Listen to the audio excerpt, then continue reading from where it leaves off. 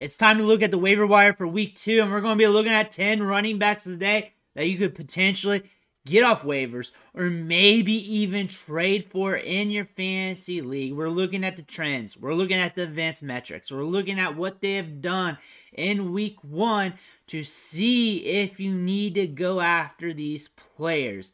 You need to hit that subscribe button though and stop missing out on this information because we're dropping content on the daily. We're covering multiple players a day. We're doing deep dives. We're helping you with lineups, the waiver wire, and everything else to help you win that championship this year. But let's dig in. Let's look at these 10 players to see if you're interested in any of them off the waiver wire or trade, or maybe you already have them. But let's take a look.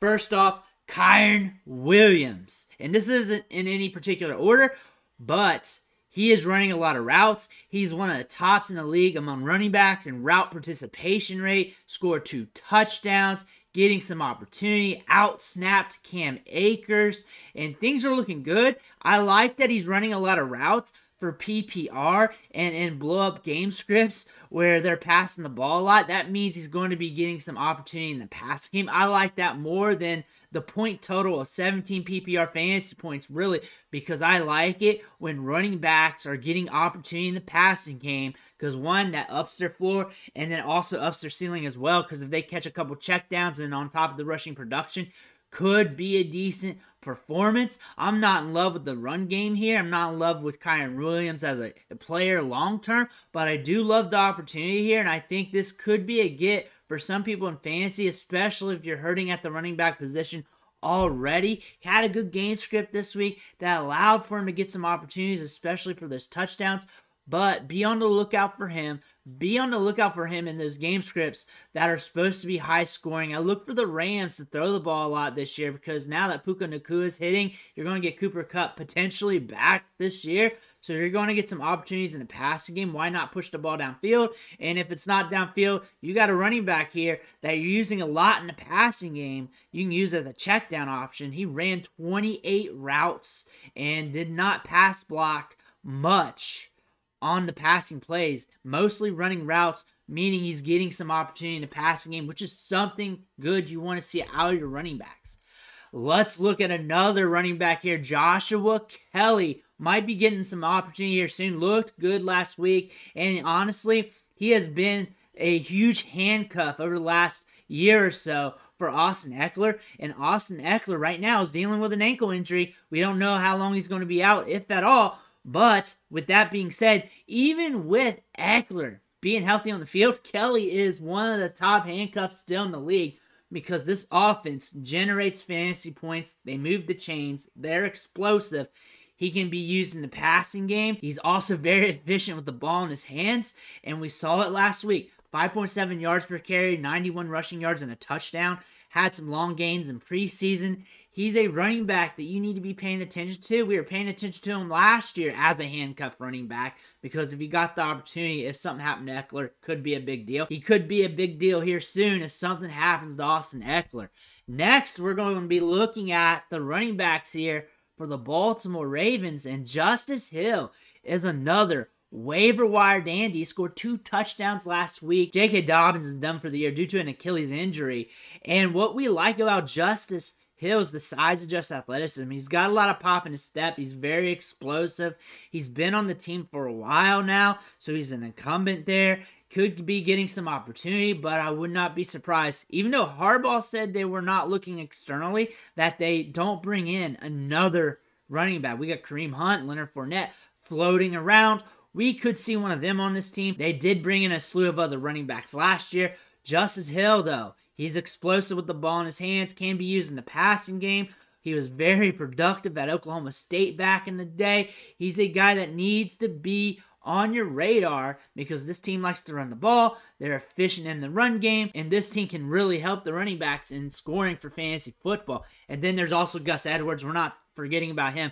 He is the true incumbent running back. In 2020, he excelled. We got the points per game down there. And that back half of the season in 2020, he looked really good. Then tore his ACL the following year.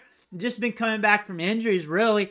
But this is an opportunity for him to showcase what he can do. He can be a pounder between the tackles. He's very efficient.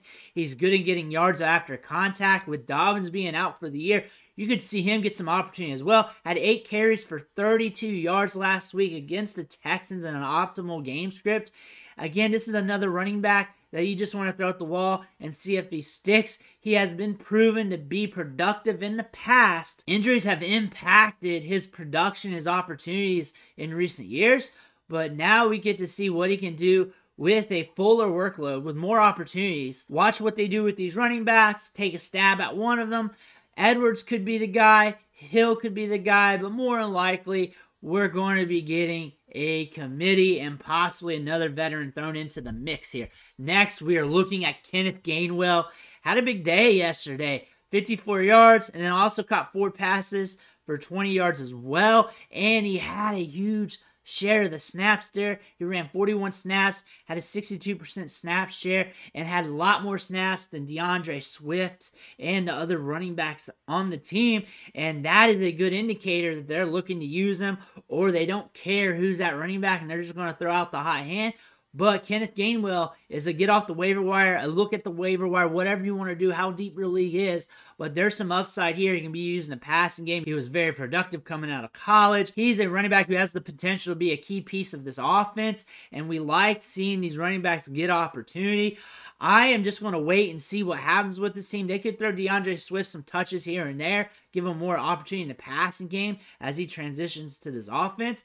But right now, Kenneth Gainwell is the guy. And if you're hurting a running back and you don't get the other running backs and he's still there in the waiver wire, go ahead and get him. Go ahead and try and see what happens with him. He's a guy to stash. He's a guy to see what happens with. He was going late in drafts on Underdog Fantasy, and for a reason there because this offense at the running back position is a little bit murky, we're starting to get the waters a little bit cleared up as we see the touches go to Gainwell here in week one. Let's see what happens with him. Next, we're looking at Tyjae Spears. And this was an interesting game here. As we saw, Tyjae Spears get 34 snaps, Derrick Henry get 30, and Spears playing his first ever NFL game, drafted in the third round, looked good at Tulane, is a very explosive player who could be used in the passing game. If something happens to Henry, they're definitely going to run Spears into the ground. They're definitely going to give him those opportunities. Probably one of the top handcuffs in the league because they are not going against the run game. No matter what the game script is, they're going to be using the running backs. They're going to be giving them opportunity. Had a good snap share in this game, and that is an indicator that he could be getting more opportunities throughout the year. Remember, this is his first ever NFL game, and it's not like he was a first or even second round pick. He does have some juice in his legs, look good at Tulane. Go back and look at that Tulane USC game last year and let me know what you think about him. He looks good between the tackles as well. Looked good at the Senior Bowl. And you know what? Tyjae Spears has been on the up for quite a long time. So would not be surprised if he does something as a rookie. Next, we are looking at Tyler Allgeier. A lot of people forgot about him. He might be on waivers in your league or on the back end of someone's roster. He might be even a sell high right now if you're looking at it that way. But Bijan Robinson 10 carries, Tyler Allgeier 15 carries. Snap wise, Bijan Robinson 33 snaps, Tyler Allgeier 29 snaps.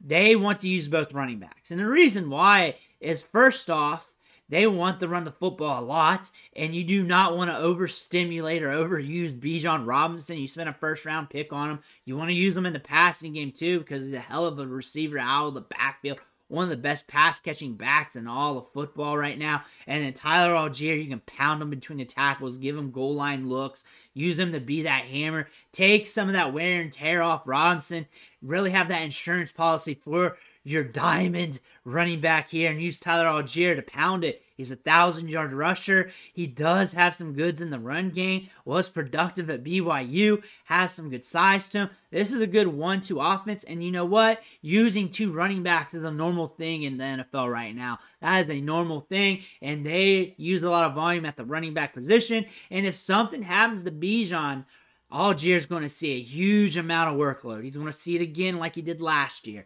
So he's a player to be on your radar. He's a guy who should be on the back end of a roster if you're in a deeper league, 12 man league, or should already be on a roster. He's a guy who shouldn't be on waivers really because of opportunity. And you need to watch him and see what happens because he's proven to be productive before. Next, we were looking at Deon Jackson. The scoring for fantasy was putrid. It did not look good. But 51 in snaps played, eighth most among running backs, getting opportunity. Evan Hull's hurts. We don't know how long he's going to be out, if at all, but he's got a knee injury. That's less competition for him. So you're going to see Deon Jackson get some more opportunity going forward. And he's highly athletic, has juice in his legs, and has proven to be productive off and on when given the opportunity. So he can give spike weeks when the game script goes well. But we have to pay attention to his usage. He's more like a flyer. You don't want to start him. You don't want to ever start this guy. But if you have to, you have to. And there's upside here because he's dangerous with the ball in his hands. If they give him some green in front of him, he's good to get a long gain. Could be getting some touchdowns around the goal line. So he's a guy to pay attention to. Really should be on a roster somewhere. Shouldn't be sitting on waivers because he's seeing 51 snaps. That's a lot of opportunity for a running back. And really, when we're looking at running backs on the back end, we want touches, we want targets, we want snaps. And then after that, we're just hoping for the best. Same thing here with Deon Jackson. Next, we're looking at Roschon Johnson. Should be on a roster. He should be on a roster. And if you've been watching this channel all off season, he's on a roster on your team. Guaranteed, because we talked about him a lot. Had a good game. This was his first NFL game as well. One touchdown. Five carries, 20 yards, six catches on seven targets, 34.7 route participation rate, one of the highest among running backs in the NFL. Snap share wise, 29 snaps for him, 27 for Herbert, 21 for Foreman. Seems like it's kind of a mess here. They also used Johnson a little bit more on the tail end of the game, and Herbert started out the first series. But the thing about this, a mess like this, where the rookie running back is being used as much as the veterans. I don't care when it is in the game. That's a good sign. That's a good sign because we're in the first game of the season. We have 17 to go. That means there's a good chance that he might be getting opportunity somewhere down the line because he's already being used. He's being used in the passing game. He's being used between the tackles. He's a bigger running back with some juice.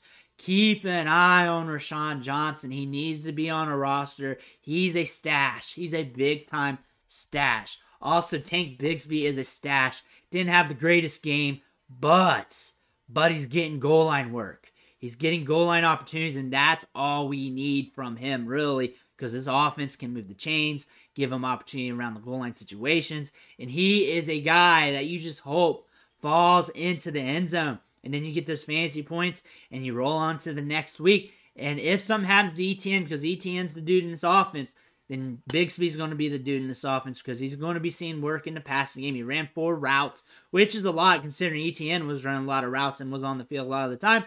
And he's going to be seeing goal line situations, goal line work, getting opportunity, and they can use him to run between the tackles. Look for his role to expand little by little as well because, after all, he's still just a rookie, still learning the game. Give him some time, be patient. But again, he's a back of the roster stash could be on waivers in your league as he was a late round pick. But if you've been watching this channel, he should have been drafted. But that's it. Those are 10 players that you can get off waivers, 10 running backs that could help your team, 10 running backs that you need to pay attention to. You might want to pick them up now. You may want to watch them. You may already have them, but they are trending upwards. They are looking good per the numbers. They're getting some opportunity. They're getting some workload. They're getting some chances to do some things to help you out in fantasy football. Let me know what you think in the comments below. Make sure you hit that subscribe button. Catch you on the next video.